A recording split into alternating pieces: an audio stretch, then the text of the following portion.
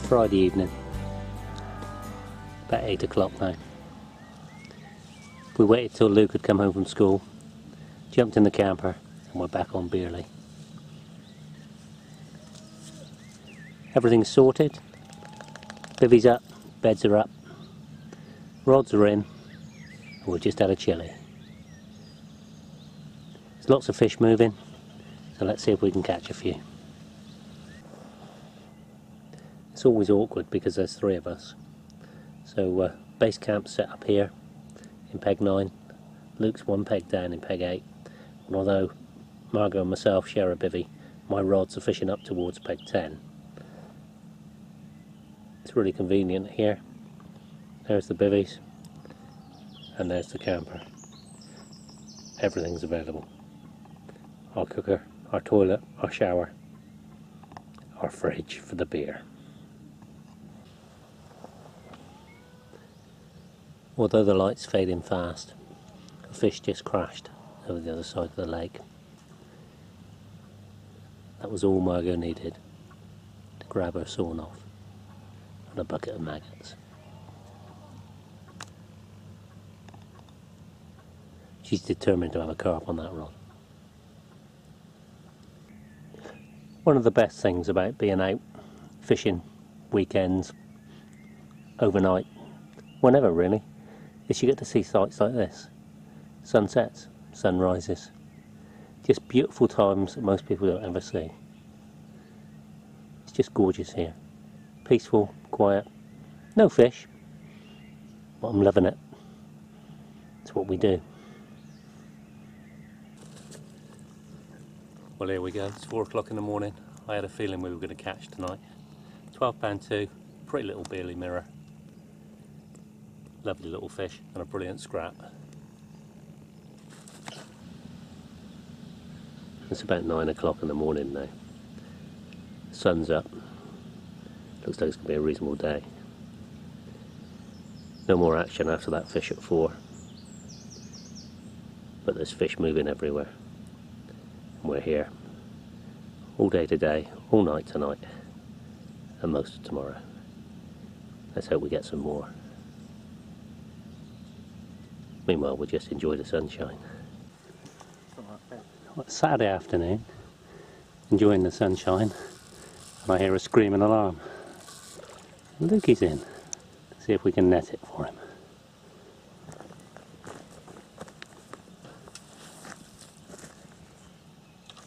Mind everything in mind what's happening. If you can keep it up on the top. Look at the blue one.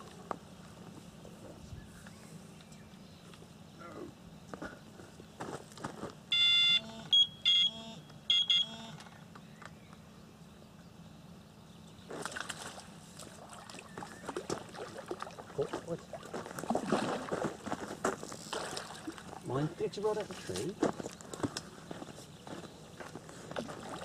Right, you've got way too short a line there.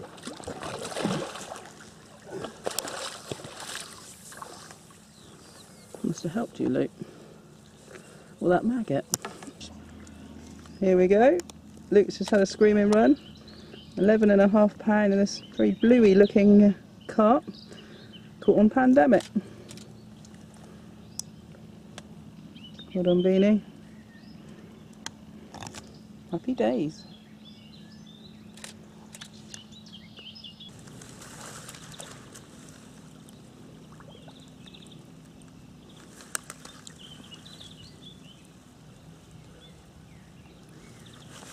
Going.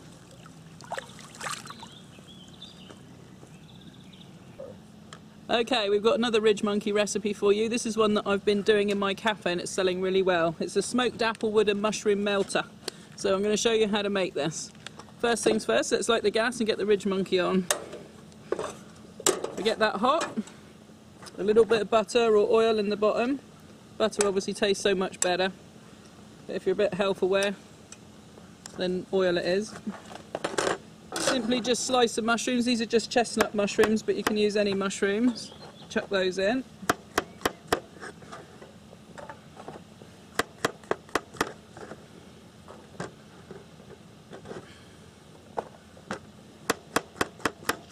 You want to have plenty of mushrooms in there, and bearing in mind they shrink quite a lot when you cook them. That should do it. That was about five mushrooms, I think. So we're just going to pan fry those in the RidgeMonkey to start with. While that's going on, we're going to get our bread out. A little bit different today than the other one toasties that I've shown you because we're not going to rub it with butter on the outside. We're going to dip it in egg, make like an eggy bread with it, which makes it more of a complete meal. So next thing is to crack an egg into here.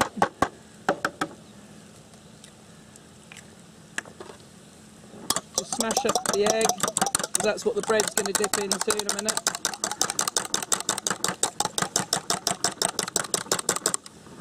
There we go, that's ready. We'll get our cheese out. This is a West Country cheese. It's a smoked applewood. Really nice. I've also at the cafe, because I tend to cook with Dorset ingredients, we use a smoked Dorset red. Uh, but you could use any type of smoked cheese or indeed an unsmoked cheese. It uh, depends what you prefer. I have to say the smoked red actually looks really good inside because when you cut it open you've got the red colour of the uh, cheese which is nice. So there we go, we've got the sliced cheese on the bread and one slice. We're just, mushrooms are just doing their thing here.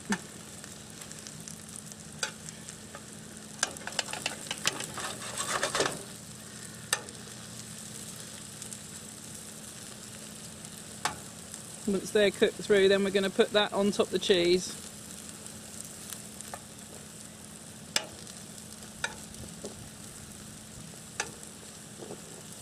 Just a waiting game for a minute. Okay, as you can see, we've just uh, sweated off the mushrooms, a little bit of colour on them, and the juices are starting to come out of them. Steve just quite rightly pointed out that I've very naughtily been using a metal implement in my RidgeMonkey, but of course I know not to touch the metal, so really plastic is the way forward every time. We're nearly there with this.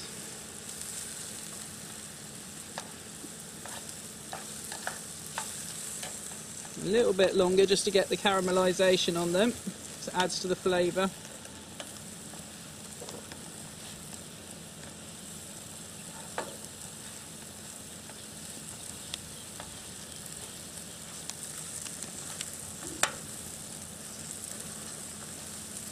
Very close now.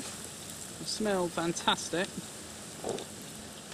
Chestnut mushrooms have a little bit of a stronger flavour than the ordinary ones, I think. But um, it really doesn't matter which ones you use. Right, now simply, I'm just going to plonk that on top of there. Now at the cafe, we just simply, um, on one of the slices of bread, rub very thinly with either chutney or Dijon mustard. But I don't have that with me today. So I'm doing the simplified version.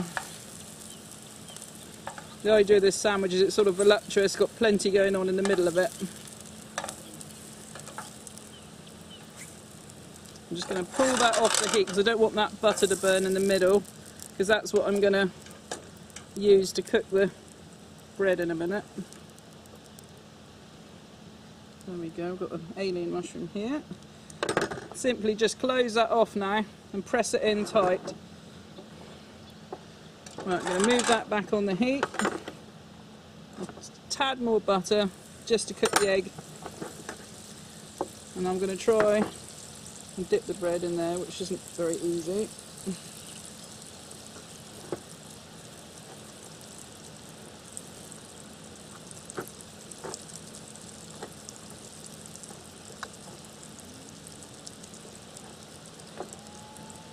Oops, didn't want to do that. Well saved. There we go, we've got the egg on now. Just simply, I'll tell you, just for ease, I'm just going to dribble the rest of the egg on top of there and rub it on. There we go. Fortunately, I have kitchen roll here. More shallow pan is the way forward, I think. Limited tools by the bank. Now we're just going to close that off because we want it to steam a bit because what we're looking for is the cheese to melt in the middle so that when we cut it open you've got the eggy bread on the outside and then the cheese melting and molten in the middle. So just we'll wait a few minutes now. Okay, it smells to my nose like it's starting to cook now, so I'm just going to flip the whole thing over. There we go. The egg is set. That's nice and firm. Now we'll just do the other side for a minute. Okay, let's just have a little look here. There we go. We've got a nice glaze on both sides now. I'm just going to lift the whole thing out, as you can see. Put it on our plate. Okay, just cutting this one open. As you can see, look, lovely molten cheese in the middle. Perfect just for eating.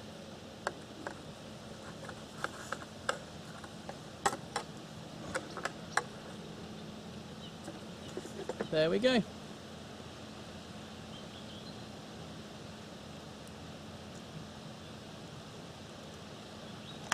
If ever there was a fish that likes to tease you, it's Shadow.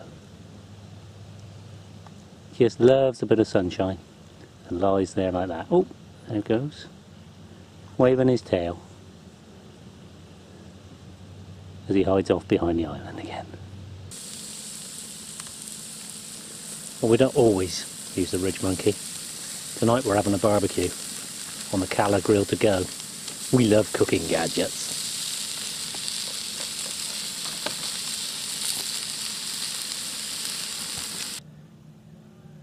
Well, the night's drawing in again.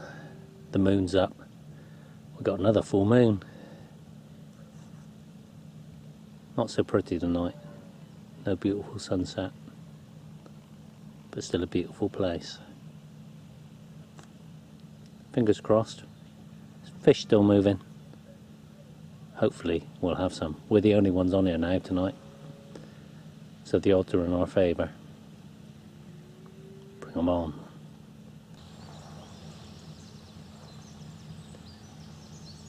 Well, just as there was no gorgeous sunset last night, there's no gorgeous sunrise this morning. Very quiet night. Fish were crashing all night again. Really disappointed not to have had one. Got that last morning blues feeling on this morning, knowing we've got to pack up and go home the end of the session. I woke to a single beat this morning to look out and see a kingfisher perched on my rod. I managed an awful picture with the phone, just couldn't reach the camera. And by the time I tried to do anything, it was gone. A magic moment, perhaps it bodes good. We've still got a few hours. Fingers crossed.